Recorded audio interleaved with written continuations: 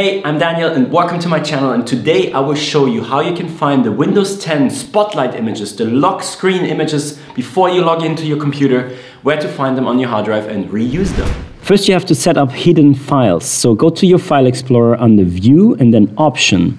In the tab view you have to activate show hidden files, folders and drives. Now apply and OK. You have to navigate to your PC and under the C drive you will get the folder users. Select your own user and then you will have the folder app data. Go to local, then search for packages.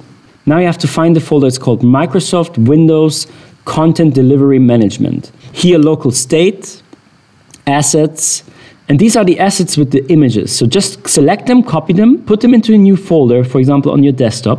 So you have to add the JPEG files. So basically rename them and .jpg. And now you can actually open those files and you can see the images that were on the background screen.